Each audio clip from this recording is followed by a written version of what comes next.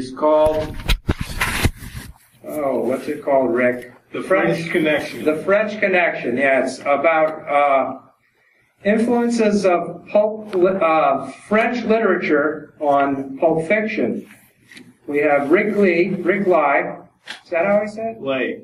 Rick Lay, who is the author of Chronology of, Chronology of Shadows, a timeline of the Shadows exploits, revised complete chronology of Bronze, Rick Lies, Rick Lies, right? Lays. Lays, Rick Lays, Secret Histories, Criminal Masterminds, and uh, Daring Adventurers, two, two books.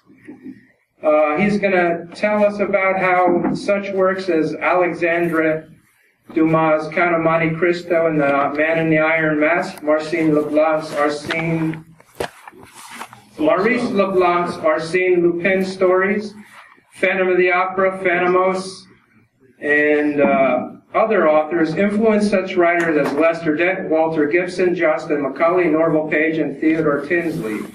And he's going to look at a bunch of other works for us. Uh, so, Rick, you're on. Okay. The most influential writer on American pulps from France was Alexander Dumas. Wrote in the 19th century. His most famous creation was The Count of Monte Cristo, whose real name was Edmond Dantes. In 1815, around the time of the Battle of Waterloo, Dantes is framed for treason by a conspiracy of four men. He gets sentenced to life imprisonment. While he's in prison, he discovers that his father has died. Now, his father was a invalid who was financially dependent on him, and his father has died from starvation. So he's got two reasons to hate the bad guys now. They put him in jail, and they've essentially caused the death of his father. So he wants to avenge his father.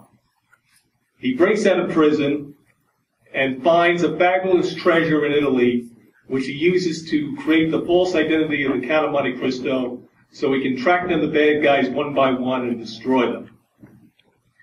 This concept gets adopted to American pulps.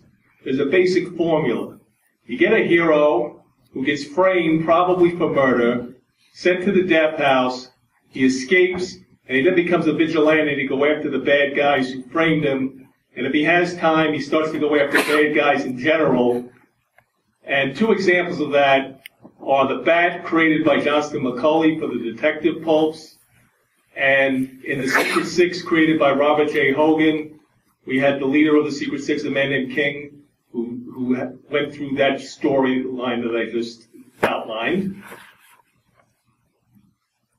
Now, Robert J. Hogan also liked that concept of the Count of Monte Cristo so much that he applied it to the World War I aviation pulps and created the Red Falcon. The Red Falcon is an American ace who's framed by, for treason by German spies, so he breaks out of jail before he can be sent before a firing squad, and he becomes an independent soldier who seeks revenge against Kaiser Wilhelm's Germany. Now, the concept of avenging your father by killing off the guys who were responsible for his death one by one popped up in a series called Alias Mr. Death by D.L. Champion. The hero is a wealthy socialite whose father is murdered by a crime syndicate, so the, the socialite then becomes a vigilante Mr. Death, and in each story kills off a member of the crime syndicate. But most famous pulp hero who had to avenge his father's death was Doc Savage. And that happened in the first Doc Savage novel, The Man of Bronze, by Lester Dent. Now, besides using the concept of avenging your father's death, the concept of a lost treasure also popped up in Doc Savage because while going after the mastermind who killed his father, Doc stumbles upon a Mayan treasure in Central America, which will use to fund all of his activities. This concept gets reworked in the Avengers six years after Doc Savage appeared, in, in which the father is now replaced by the hero's wife and daughter. And we still have the lost treasure that uh, is used to finance the hero's activities. But this time it's an Aztec treasure in Mexico. Another popular hero created by Dumas was the Chevalier de Maison Rouge. That translates into English as Knight of the Red House. He is a swashbuckling hero who in 1793 tries unsuccessfully to save Marie Antoinette from the guillotine. So we have two concepts here. A hero associated with the color red and rescuing people from the guillotine, and in the hand of a British writer named Baroness Orczy, that character is essentially rewritten as Sir Percy Blakeney, the Scarlet Pimpernel. Now, a lot of concepts from French popular fiction first entered British literature, and then they and through the filtering of British literature, they really influenced American pulps. Chevalier de Maison Rouge is, is such an example. Scarlet Pimpernel now, in, in turn, influences Zorro and other pulp heroes. Now, Chevalier de Maison Rouge was so popular, it inspired a series of prequels known as the Marie Antoinette series. The central uh, historical event which, around which all these novels uh, uh, revolve is a crime committed in 1785, four years before the French Revolution broke out. A gang of swindlers used forged credentials to impersonate agents of Marie Antoinette, and they managed to steal, largely on credit, the most expensive necklace ever made. They were all arrested and put on trial, and during the trial they claimed that they were really working for Marie Antoinette, who was supposedly committing this swindle for some devious purpose of her own. Now that story was totally ridiculous, but the French public wasn't that smart back then, so they bought it hook, line, and sinker. And Marie Antoinette, who was then a pretty popular queen in France, suddenly became the most hated person in the nation. This was a major cause of the French Revolution four years later. Now, when they arrested that gang of swindlers, there was another swindler who used to hang out with them, and they picked him up, even though he had nothing to do with the crime and would eventually be found not guilty during the trial. His real name was Joseph Balsamo, but he created the false identity of Count Alexander Cagliostro to swindle people by pretending to be an immortal sorcerer who could foretell the future. He also practiced hypnotism. After he was acquitted, he was exiled from France Eventually, he ended up in Italy, where he was arrested for practicing witchcraft about the time the French Revolution broke out in 1789. And he spent six years in prison and eventually died in 1795. Now, Alexander Dumas decides to make him the secret architect of the French Revolution, even though he is at best a minor character in history. Alexander Dumas wrote a first wrote a three-volume work about him called The Memoirs of a Physician, which was also known as Joseph Balsamo. But to totally confuse matters, the most common English edition available now is a two-volume abridged edition, where the first volume is called Joseph Balsamo and the second volume is called The Memoirs of a Physician. Now, Cagliostro, or Joseph Balsamo, becomes a member of a secret society dedicated to destroying all the monarchies of Europe. In 1770, 19 years before the outbreak of the French Revolution, he is supposedly chosen to plant the seeds of revolution in France. He goes there not in the Cagliostro identity yet. He uses the false identity of the Count de Fenix. And he tries to plot a, a revolution much earlier, but it fails and he's forced to flee the country. He then returns in a sequel called The Queen's Necklace, which is the fictionalization of the swindle I originally outlined. And in this version, Cagliostro has a much bigger role in the swindle. He effectively manipulates everybody involved to destroy the reputation of Marie Antoinette and plant the seeds of revolution. This novel was later made into a movie in 1949 starring Orson Welles as Cagliostro. Uh, that movie was called Black Magic. There were two more sequels to, uh, or two more sequels to these Cagliostro novels. The first one is called Ange Pitou, The Taking of the Bastille. Cagliostro doesn't appear in that, so we're not going to discuss that at, at length. The second sequel was called The Countess de Charny, and in that story, now Cagliostro was imprisoned during the early years of the French Revolution in the 1790s. He supposedly breaks out much in around 1790, and by faking his death in that prison, that's five years earlier than he actually is supposed to have died. He comes to France, helps invent the guillotine, and plants and causes the execution of uh, King Louis XVI, and that's the beginning of the Reign of Terror. He then leaves France for parts unknown, and we never learn what really happened to him in the imagination of Alexander Dumas. In real life, he died in prison. Now we have a central core concept. Take a major historical event, in this case the French Revolution, and then make a mastermind behind it. I missed the slide. Uh, make a master, mastermind behind it who's responsible for that world-shattering event. This first beca- appears in British fiction, and two major master criminals are inspired by Cagliostro. One is Carl Peterson, the arch enemy of Bulldog Drummond. Carl Peterson uses the identity of a French count, the Count de Guy, to plot with Russian communists world revolution. The other master criminal is Sax Rohmer's Fu Manchu. Sax Rohmer was a big fan of Alexander Dumas. And just as Cagliostro was behind the French Revolution, Fu Manchu was supposedly behind the World Depression of 1929. He supposedly caused it by manufacturing synthetic gold from lead and manipulating world markets. There also was a novel called President Fu Manchu that was published in 1936 in which Fu Manchu has a femme fatale working for him named Lola Dumas. And she is supposedly a descendant of Alexander Dumas. And this was probably Sax Rohmer's acknowledgement that Fu Manchu owes a debt to Dumas' uh, fictionalization of Count Cagliostro.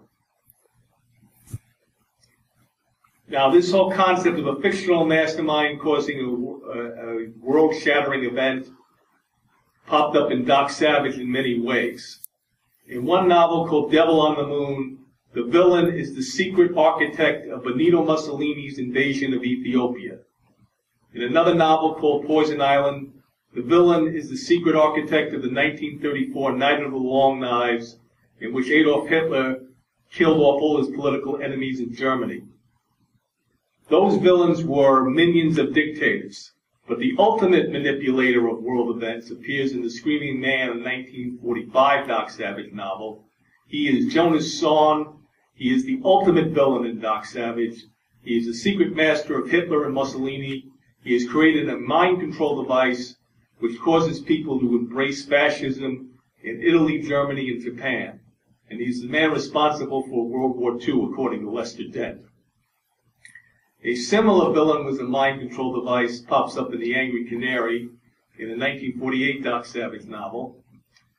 And that villain lives in Pakistan and is using a mind control device to cause Muslims to hate Hindus and is supposedly responsible for all the riots that occurred after the 1947 partition of India and Pakistan.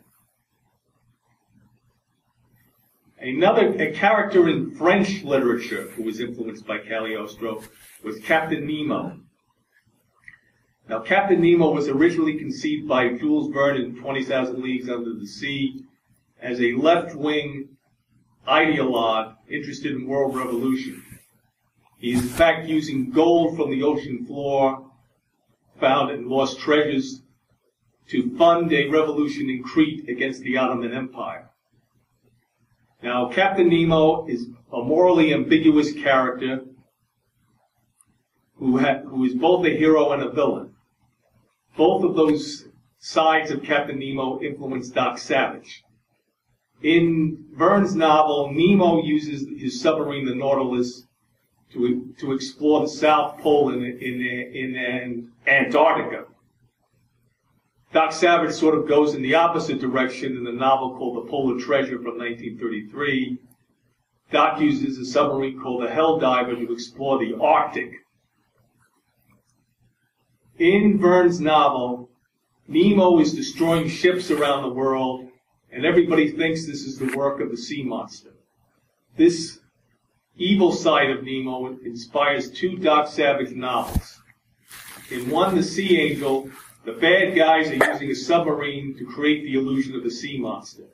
In the other, The Submarine Mystery, the bad guys are a gang of pirates who are sinking ships with submarines and then looting them while, while their vessels are on the ocean floor. Now, since we're celebrating Edgar Rice Burroughs at uh, Pulp Fest, we should point out that Verne also wrote Journey to the Center of the Earth, which is about a scientist discovering dinosaurs underneath the Earth. This inspired Edgar Rice Burroughs to create Pellucidar, a lost land of dinosaurs at the Earth's core, and Pellucidar would be eventually visited by Tarzan. The next character from Dumas that influences the pulps is the man in the iron mask. Now, you've probably seen a movie version of this. In the movie version, as in the book, the man in the iron mask is Philippe, a supposedly secret twin brother of the tyrannical French king Louis XIV. In all the movie versions, Philippe overthrows his brother, assumes his identity, and rules France benevolently. This is not the book. In the book, Philippe is a dupe of a sinister conspiracy that wants to take over France by people who are just as bad as Louis XIV. he briefly replaces his brother on the throne after his brother gets kidnapped and imprisoned. D'Artagnan, the leader of the, uh, uh, the captain of the King's Musketeers, previously from the Three Musketeers, rescues Louis XIV, foils the conspiracy, and Philippe gets thrown into prison and condemned to wear an iron mask for the rest of his life. Not exactly the movie version you see. Since Philippe in the original book is a sympathetic villain, it's no surprise that a more malevolent villain was created based on him, and that was Stahlmask, the man in the steel mask, from Robert J. Hogan's G8 and his Battle Aces. Stahlmask is a disfigured German scientist, sort of an early forerunner of Marvel Comics' Doctor Doom. Now, the concept of the, of the mask came from Man in the Iron Mask. But where did the concept of disfigurement come from? From another French writer, Gaston Leroux, who created a character called the Phantom of the Opera in 1910. The Phantom of the Opera was a man born with a skeletal face who creates a secret sanctuary for himself beneath the Paris Opera House. Now, I used a photo here of the Phantom of the Opera from a movie was Claude Rains because that looked most like the way the character was depicted in the book. Now, you notice that the Phantom is wearing a hat and a cloak like a famous pulp adventure. Well, that's not an accident because the shadow as originally conceived had a lot of the Phantom of the Opera in him. You see here a, a drawing by the late great Frank Hamilton of a disfigured shadow. Originally, the shadow was supposed to be a World War I pilot who crashed, was horribly disfigured, and then became a vigilante using disguises to mask his disfigurement. Sort of like Sam Raimi's later character Darkman, and that's where Sam Raimi got the idea from, essentially what happened was was Walter Gibson was writing the series and he planted various hints that the shadow was disfigured. He Gibson realized that the concept was somewhat disturbing and may uh, repel readers, so he abandoned that whole idea. And when he eventually explained the shadow's true origin, you see no references to disfigurement. Other pulp heroes were similarly disfigured. One character was created by Paul Ernst. His name was Seekay. And Seekay wears a plastic lifelike mask to disguise his, his facial disfigurement. He's a detective who solves mysteries. Perhaps the most famous uh, disfigured hero from the pulps was a character named Sheridan Doom, who ironically was the backup feature for The Shadow in, in the 1930s, late 1930s, was created by a writer named Steve Fisher. And besides appearing in stories in The Shadow magazine, he also appeared in two hardcover mystery novels that have recently been collected as a giant double novel by uh, Age of Aces. Now, Gaston Leroux did more than just use disfigurement in his novels. He created a character named Chéri-Bibi who used the concept of plastic surgery around 1914. Chéri-Bibi is a Monte Cristo type character who an evil aristocrat frames for murder, and Chéri-Bibi is sentenced to Devil's Island for life.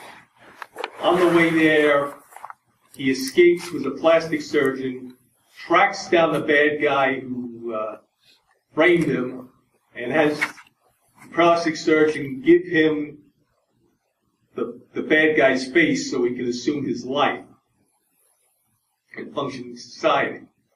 This whole concept of plastic surgery then enters the American pulse. In Daredevil there was a series starting in 1932 by Donald E. Keyhoe called The Vanished Legion, in which a plastic surgeon teams up with a gang of American aviators and gives them new faces so they can spy on the Germans.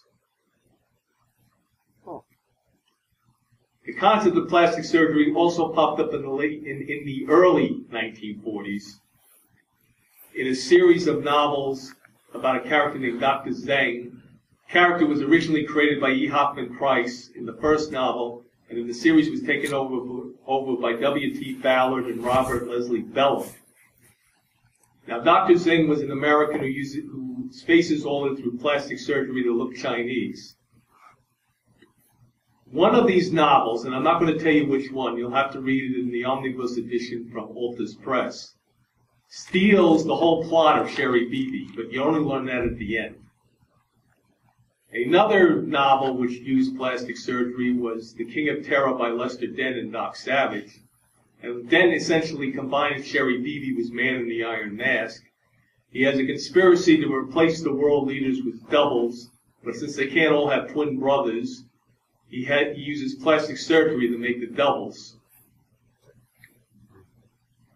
Now, I want to deal with a very controversial novel here, written in the 1840s by a man named Eugene Sue. It is a literary atrocity which is both anti-Semitic and anti-Catholic, and since those aspects had nothing to do with American pulps, I'm not going to go into them at all. But somehow the plot of this novel ended up as an invention novel. The plot, the main plot of this novel involves a French family scattered over the world who have to be in Paris at a certain date and time to claim their share of a family fortune, and the only way they can identify themselves is by showing a medallion. Now, Paul Ernst in 1941 rewrote that plot, set it during World War II. There's a family of financiers named Hagar. It's implied that they're probably Jewish were being persecuted by the fascist and communist regimes of Europe. So they've shifted all their wealth to the United States. And since none of these members of the family have seen each other for years, they're going to identify themselves with medallions as they meet in the United States to divide up the wealth. Of course, a criminal gang discovers this and tries to steal all the medallions so they can claim the secret store of wealth. Now, a more respectable French writer than Eugene Sue was Honore de Balzac. He created a master criminal called Vautrin. Now, Vautrin appeared in three novels. We're going to discuss one of them. It's called Lost Illusions. Vautrin only plays a small role in this novel at the end. The main character in Lost Illusions is a man named Lucien, who was a young man of a poor background from the French provinces decides to go to Paris to make his fortune. He's pretty successful for a while. He's got a great girlfriend. He's got all this money. He's doing wonderful. Then everything falls apart. He loses his girlfriend. He loses his money. And he decides to kill himself by drowning himself in a river. Vautrin learns about it. Vautrin prevents him from committing suicide and makes the following deal. He'll give him a purpose in life, provided he becomes his agent in his criminal schemes. And the next novel in the series, Scenes from a Courtesan's Life, tells you how that partnership works out. Now, if that Faustian bargain sounds a little familiar to you, you remember the opening scene of the first Shadow novel by Walter Gibson, in which a man called named Harry Vincent comes from Michigan to New York. He's unlucky in love and unlucky in finance, and is so disturbed he's going to commit suicide by throwing himself off a bridge but he's stopped by the Shadow, who then makes the same deal that Vautrin made with Lucien, and the Shadow and Harry Vincent becomes the Shadow's agent, except instead of working for a master criminal, he's working for a cloaked vigilante. Another French writer who was very important in mystery fiction was Paul Féval. Now, his he created a, a group of characters called the Black Coats, who were probably the first multinational crime syndicate in popular fiction. The novels were first appeared in the 1850s. Now they've only recently been translated into English. So they had no influence on the American pulps, but they would influence another French writer who, who we'll discuss momentarily, who did influence American pulps. Now on the right side of the screen, you'll see on the cover of a recent English translation of a Black Coats novel. A young man holding a knife who looks kind of thin. His name is Lecoq, L-E-C-O-Q. And he's a master criminal who infiltrates the French police and then frames other people for his crimes. Féval had a secretary named Emile Gaboriau. And Emile Gaboriau decided to write mystery novels on his own, but instead of focusing on criminals, he was going to focus on the detective for the French police. He borrowed the name Lecoq. There's no overt connection between the two Lecoqs. This Lecoq, Gaboriau's Lecoq, instead of being a criminal, is really an honest detective who uses disguises and inductive reasoning to solve crimes. He was a major influence on both Nick Carter in the United States and Sir Arthur Conan Doyle's Sherlock Holmes. If you read the first Holmes novel, A Study in Scarlet, you may remember a conversation that goes like this. Dr. Watson asks Holmes, do you think you're as good a detective as Lecoq? And Holmes says, Lecoq was a miserable bungler, and I'm a better detective. But Lecoq did more than influence Sherlock Holmes. He also influenced Professor Moriarty, the archenemy of Sherlock Holmes in a book called The Slaves of Paris, Lecoq battles is the most dangerous criminal he ever faced, Baptiste Mascarot. Mascarot is a former mathematics tutor who dominates the underworld of Paris. Moriarty was a mathematics professor. But there is another villain from Sherlock Holmes who was also influenced by Mascarot. The title character of Sir Arthur Conan Doyle's the Adventure of Charles Augustus Milverton, is a master blackmailer. Now, Mascarot's modus operandi was to bribe servants from, for wealthy people and have the servants steal the letters of their employers and then give them the masquerade. So we could use them for blackmail. Charles Milverton uses the same modus operandi. This whole concept of massive blackmail rings pops up in the American pulps, such as the shadow novel The Blackmail Ring from 1932. Why Féval's crime novels were not translated into English, he wrote several swashbucklers that were. The most famous of this is a novel called Le Bossu, which literally means the hunchback. It was translated into English around 1860 as The Hunchback of Paris. You see here scenes from a movie version made in 1960 with Jean Marais as the hero. The hero's name is Henri Lagardère. In real life, he's a handsome looking guy, but he learns about a villain who is trying to manipulate the stock market and swindle everybody. So he creates a false identity to infiltrate the bad guy's gang and that is of a hunchback named Jonas. The bad guy also has an elite group of assassins working for him. So Lagardère decides to kill off those guys one by one by challenging the sword, sword fights. Lagardère has a neat trick that he uses in a sword fight. He has this incredible thrust where he stabs his opponent in the forehead. So there are all these corpses uh, appearing in Paris with red marks on their foreheads.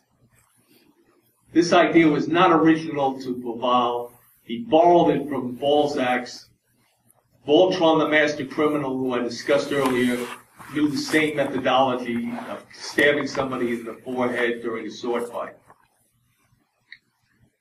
Now let's look at this concept for a moment. We have a hero who poses as a hunchback and stabs people and, and leaves corpses in his wake with red marks on their foreheads. Was there any American pulp like that? Yes, there was. The spider. Now, the spider was always shown some wearing vampire-like makeup, but it wasn't sometimes apparent from the illustrations, but it was mentioned in the text that he was also wearing a fake hump to look like a hunchback. He also killed criminals and marked their foreheads with, the, with, the, with his ring, which created a spider-like image.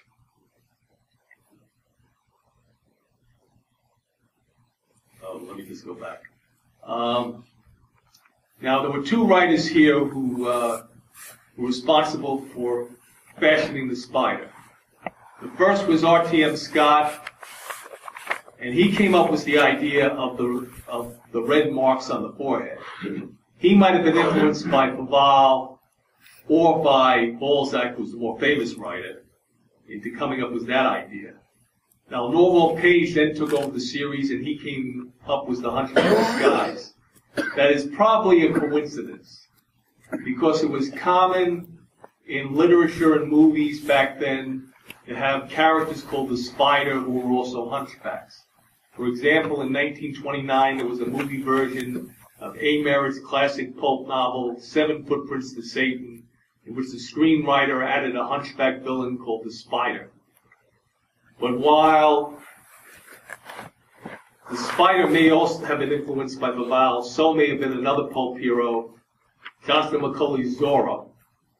Now, in most of the TV versions and movie versions that you've seen, Zorro only draws the sign of the Z on the clothes of the bad guys opposing him.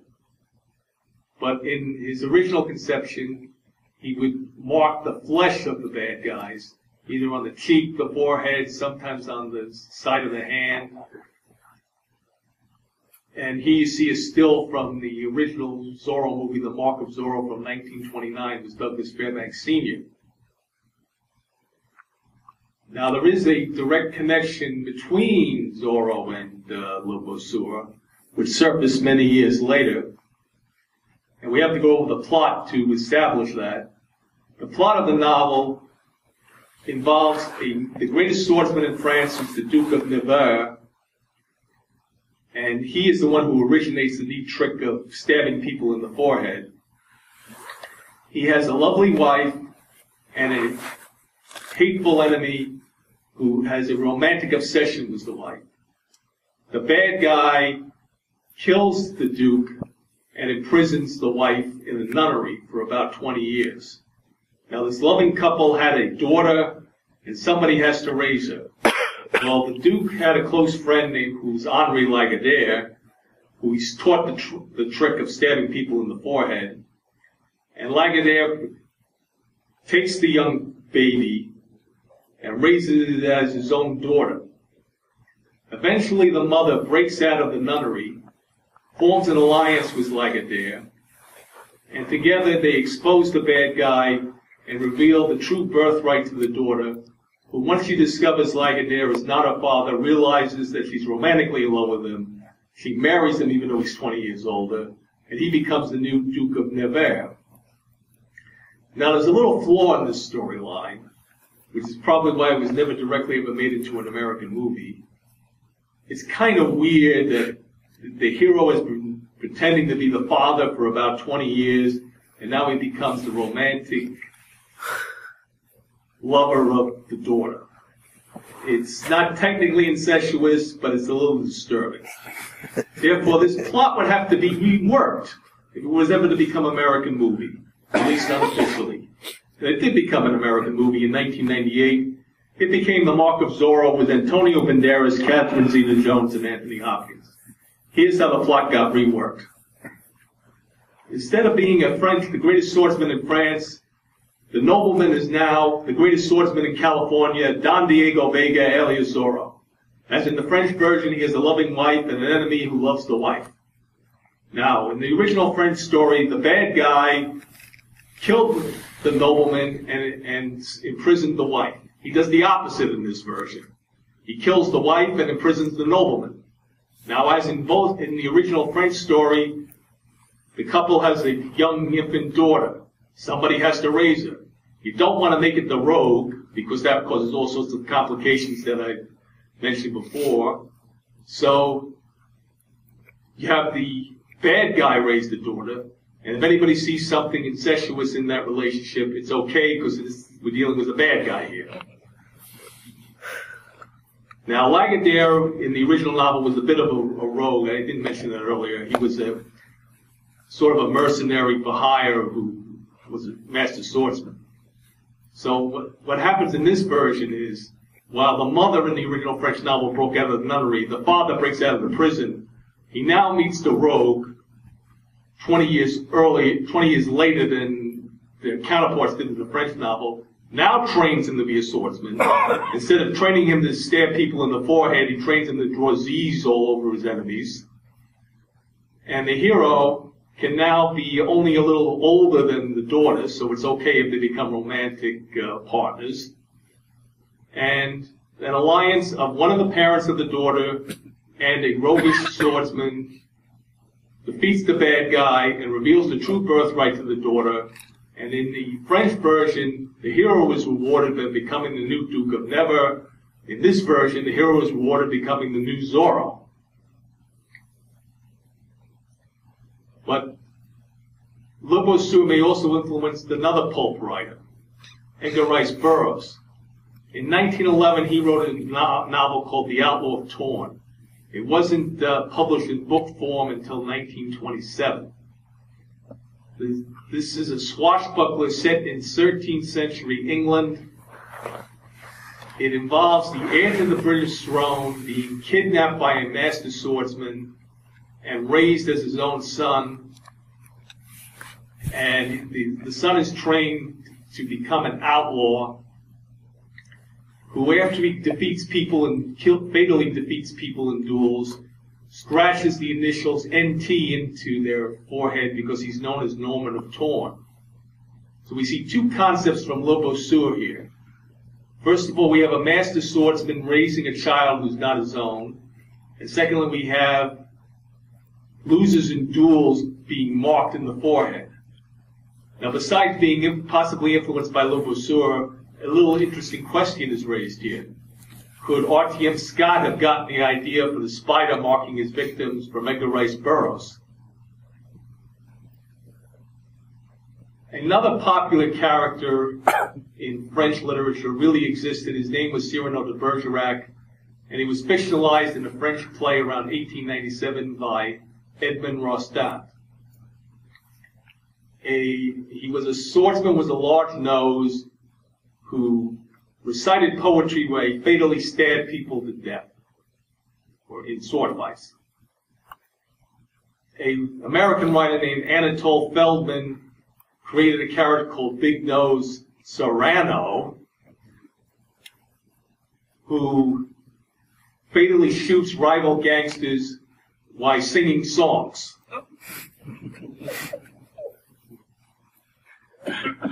Now, after the Count of Monte Cristo, probably the most influential character on American pulp heroes was Arsène Lupin, who was created by Maurice LeBlanc in 1905.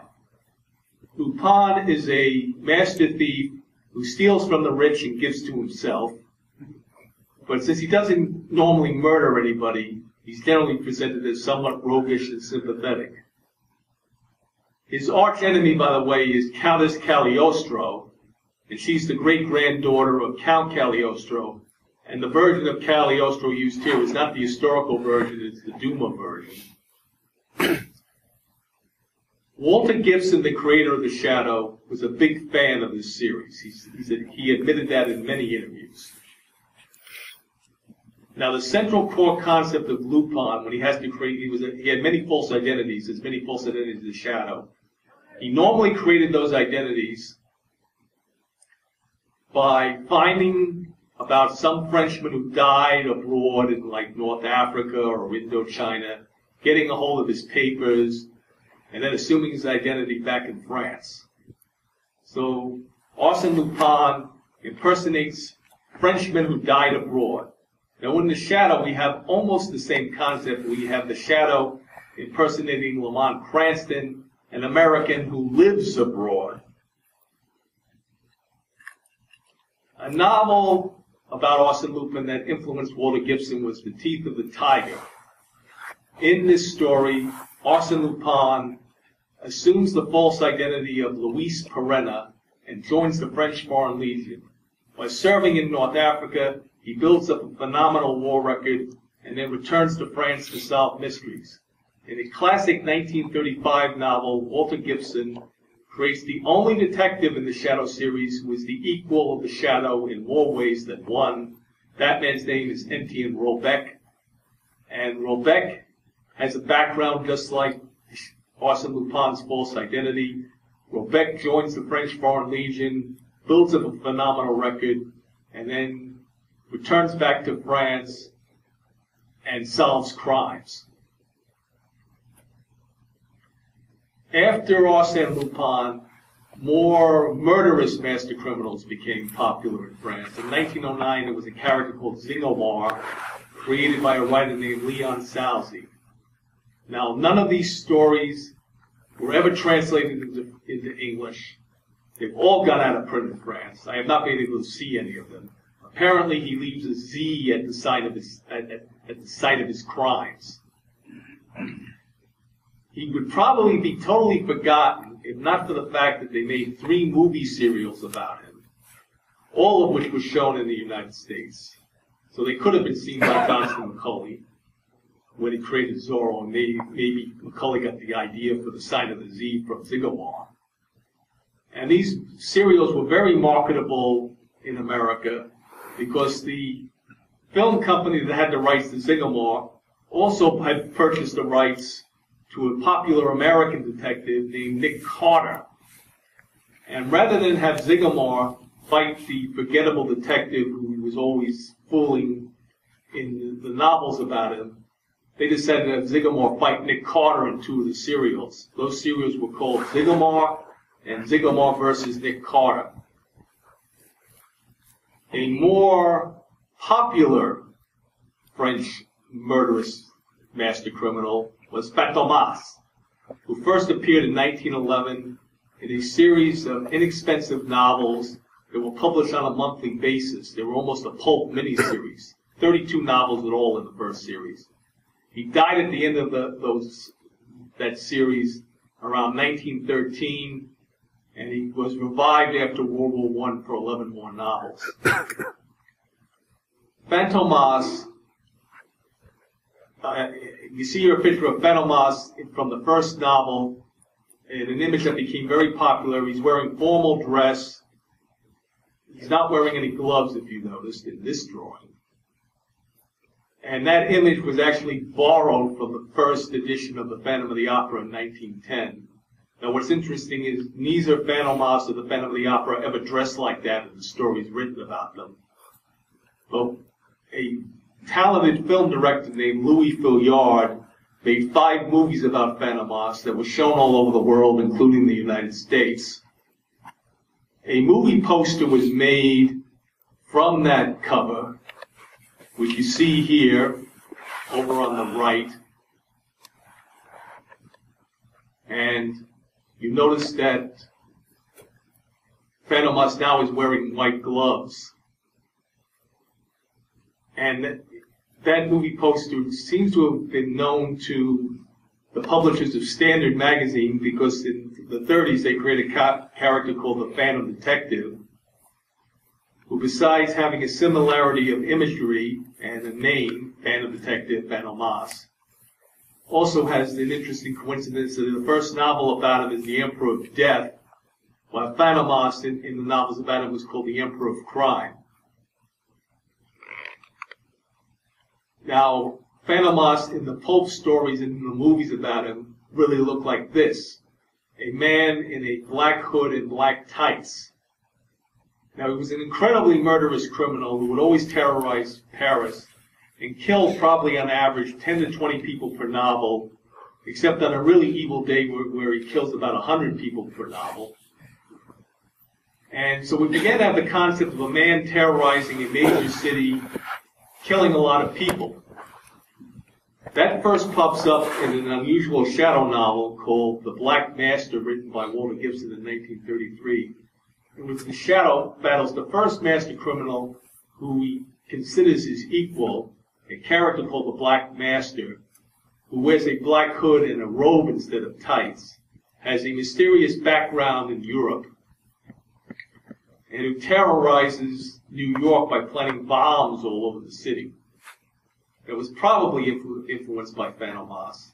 There's a more obvious instance of influence by Fantômas in a novel called The Grove of Doom from 1933. In that novel, the villain has a mysterious assassin working for him with an incredible secret that I'm not going to reveal. But Fantômas had an assassin with the same secret working for him in the second Fantômas, Fantômas novel, The Exploits of Juve, that was made into one of the Fantômas movies. Now, concept, an idea pops up here. The, the central plot of the, all the Spider novels in which a master criminal kills thousands of people from New York stem from Fantômas killing scores of people in Paris. Interestingly enough, the first novel in that vein written by Norval Page in 1934, Wings of the Black Death, has a similarity to the eighth Fantômas novel, The Daughter of Fantômas. In Wings of the Black Death, the spider's adversary spreads bubonic plague throughout New York. In Daughter of Fantômas, the villain spreads bubonic plague on an ocean liner. However, Daughter of was only recently translated by Mark Steele into English, so it's probably just a coincidence that those two novels have the same plot, unless Norval Page knew French. Now, Louis Feuillade, who had made the popular films of Fantômas before World War I, lost the film rights during, during the war. So we decided to make a sort of rip-off group of villains called the Vampires, who appeared in a popular serial. They all dressed like Fantômas in one form or another. Most of them wore the black hood and tights. You can see a character in the corner who dressed like the famous movie poster. And the most famous member of this criminal gang was a woman named Irma Vep, anagram for vampire, who wears black tights and is a cat burglar. This movie serial was apparently seen by Seabury Quinn, the creator of the most popular character in Weird Tales, Jules de Grandin, who has even been translated into French. In a, in a 1937 story called Children of the Bat, Jules de Grandin, who normally battles supernatural menaces, just battles a group of weird criminals who use vampire paraphernalia in their crimes. They're a gang in Mexico. They're called the Children of the Bat. They wear black hoods and robes, but their leader is a woman who wears a skin-tight black costume. Another example of an influence of a French novel on a Jules de Grandin story is Seabury Quinn's 1935 story, Hands of the Dead. It was influenced by a popular French novel by Maurice Renard written in 1920 called The Hands of Orlac. The plot of that novel is it's about a pianist who loses his hands in a railway accident and a surgeon grafts on his, on his arms the hands of a man recently guillotined. The pianist recovers from the accident and believe and begins to believe that the ghost of the murderer is trying to possess him. This was made in, in a popular 1924 movie called Hands of Orlac, starring Conrad Veidt, the author best known for, I mean, the actor best known for playing the villain in Casablanca. That was the only movie version made at the time when Quinn wrote the story. Besides Seabury Quinn, H.P. Lovecraft also was influenced by French literature. Now, Lovecraft, besides writing stories under his own name, sometimes revised stories for other authors. In 1927, he was hired by a writer named Adolf de Castro to take a couple of science fiction stories that de Castro had written in the 1890s and revise them into supernatural stories to be published in an altered version in Weird Tales. One such story was called, in its new title, The Last Test, and appeared in the 1929 issue of Weird Tales.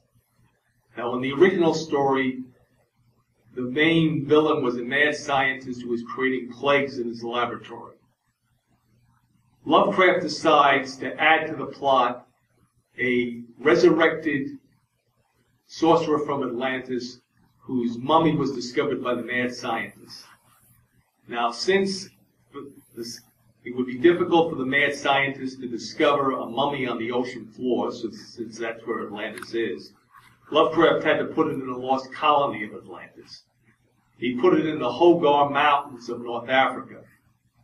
That idea came from a novel which Lovecraft definitely read because he mentions it in the 1927 letter to Clark Ashton Smith. The novel was called Atlantida by Pierre Benoit, it involves a lost colony of Atlantis in the Hoggar Mountains, ruled by a queen who kills her lovers. Now, the, the kingdom was called Al Hagar. This sounds a little familiar. Edgar Rice Burroughs created a lost civilization in Africa that was a colony of Atlantis, that was originally a colony of Atlantis called Opar, and it was ruled by an evil queen who was trying to kill the man who she loved, Tarzan. However, Opar was created six years earlier than El Hagar in The Return of Tarzan by Edgar Rice Burroughs. So the issue arises here, did Burroughs influence Benoit? Probably not because Return of Tarzan wasn't translated into French until 1938.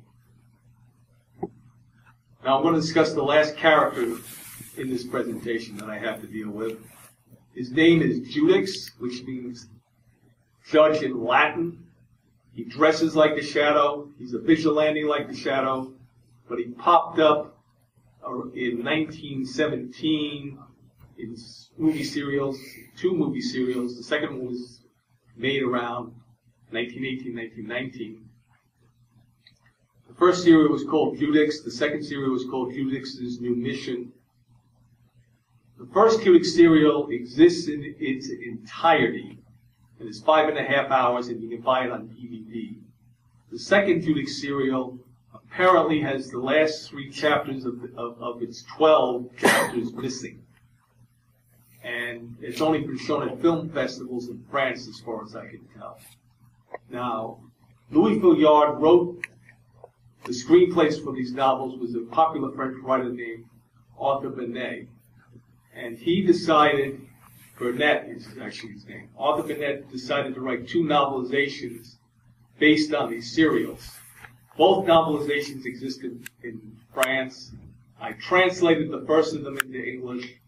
It's a much superior story because he had characters' backgrounds, and there's so much you can do in a silent movie as far as explanation and effect.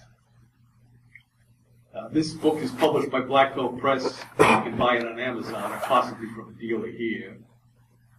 And currently, I'm translating the second serial, which would, which will be uh, the novelization of the second serial, which will be printed under the title "The Return of Judex." Now, we have an overall question here of similarity to Shadow. I don't think Walter Gibson was influenced at all by this. And I'll explain later why. But there was another shadow writer named Theodore Tinsley who also used the pseudonym of Maxwell Grant to write shadow novels. In his most famous work, The Prince of Evil, which introduced a recurring villain named Benedict Stark, has marked similarities to Judex. The original plot of Judex is sort of like the Count of Monte Cristo. An evil banker named Favraux causes Judex's father to commit suicide and tries to impoverish Judex's family, but the family actually has a secret gold mine in Africa, so they survive. Judex, who's then about 14 at the time, is asked by his mother to swear an oath of vengeance. When he's about 30, he becomes a masked vigilante called Judex. His real name was Jacques de Trémeuse. And he takes vengeance on the banker. Now, when the Prince of Evil, Benedict Stark, is an evil financier who destroys anybody who ticks him off, and he decides to destroy a, a family by causing the father to commit suicide and impoverishing the rest of the family. That's the first similarity. The second similarity is that when Judex takes revenge on the banker, he imprisons him, he kidnaps him, and imprisons him in a futuristic torture chamber where he uses special side effects to drive him nuts. Since this is a silent film, he can't use sound effects. Now, in The Prince of Evil, the Shadow doesn't kidnap Benedict Stark, but he kidnaps a guy who works for Benedict Stark, and he uses sight and sound in the futuristic torture chamber that didn't exist in the works of Paul Gibson to, to extort information from the bad guy. Is there a possible explanation for these similarities other than Theodore Tinsley having seen the movie? Well, first of all, let's examine the question of whether Tinsley could have seen the movie. Uh, the movie apparently was never shown in the United States. That was established with the help of Anthony Tollin. But even though all of Feuillade's other serials seem to have been shown in the United States. But Theodore Tinsley was a soldier in France in the latter years of World War One, and he, that was when Judex was released, so he could have seen the movie in France. But the other explanation is that there was a common literary ancestor for both the villains of Judex and the Prince of Evil. And that villain is a character named Baron uh, Danglars, as seen here is played by the late British actor Donald Pleasence. Baron Danglars, in the Count of Monte Cristo, was one of the four men who framed Edmond Dantes. Monte Cristo kidnaps him and imprisons him in a prison cell and tr- tries to starve him to death unless he signs away his fortune, which he eventually does. So that's where the whole idea of imprisoning an evil banker came from. So maybe Theodore Tinsley got it from the same source, and just because he loved very violent stories, ended up with something similar to the Judex movie. Now, another, you have to address the issue of why Walter Gibson's work is so similar. We saw earlier that Gibson was influenced by the Phantom of the Opera. Now, the co-author of the screenplay, Arthur Bernède, was a close friend of Gaston Leroux. Now, in the original Phantom of the Opera novel, not in any of the film versions, there's a dangling plot angle that is never resolved. It was a mysterious man who is not the Phantom of the Opera, who is also living under the Paris Opera House, who is called the Shadow and the Man in the in the felt hat. And this man is apparently either a spy or a vigilante, but it's never established which. And this was probably intended as a setup for a sequel by Gaston Leroux, but he never got around to writing it. And in the Judex novelization, Judex is referred to as the man in the felt hat. In both the serial and, novel, and the novelization, he's referred to as the mysterious shadow. I think Bernède got the idea for Judex from the Phantom of the Opera. Now, since there was an obvious connection here, I wrote a prequel series of short stories published by Wildcat Books, which explains who the man in the felt hat really is, and is also a prequel to Judex because the man in the felt hat meets the parents of Judex in the course of the, the short stories. There were two remakes of Judex, one in 1934. I haven't seen it, but based on the movie poster, they seem to have got rid of Judex's hat. in uh, 1963, they made a remake, which is available on DVD from Amazon, which is only 90 minutes long and is a more condensed version of the story, but it's probably more entertaining to a modern viewer than the original silent serial. Ironically, Judex in that serial is played by Channing Pollock, an American magician who was a close friend of Walter Gibson. Hmm. Now, in the 1940s, a French publisher got a hold of comic strips that uh, Walter Gibson had written about the shadow for newspapers and decided to publish them in France. But since nobody had heard of the shadow, he decided to rename the character Judex since they look alike. But when he changed that, he didn't change anything else. So Judex, instead of being Dr. Trémeuse and living in Paris, is now Lamont Cranston living in New York. Furthermore, he has Harry Vincent working for him. And furthermore, he's battling Shiwan Khan, which is somewhat ironic because Shiwan Khan is an evil hypnotist, and the second Judex serial has Judex battling an evil German hypnotist. Now, on the final note, there's another irony here. We saw earlier that Fantômas probably influenced the Phantom Detective. We saw earlier that that Moss was a character popularized by Louis Feuillade. We saw earlier that Theodore Tinsley may have borrowed from Judex. Well, it looks like Moss suddenly became an enemy of the shadow. Because in 1964, they decided to make a new movie version of Moss, and they said we got to throw out the black hood and the black tights because that's kind of old hat. Let's create a radically new image for him. So they have him dressed in a black suit and wear this incredibly blue mask in which it's bald, you see the ears emphasized, you see the nose emphasized, you see the mouth emphasized. Ironically, it closely resembles a 1942 shadow villain created by Theodore Tinsley called Blueface. I don't know if this is coincidence or not. And that ends the presentation. Thank you very much.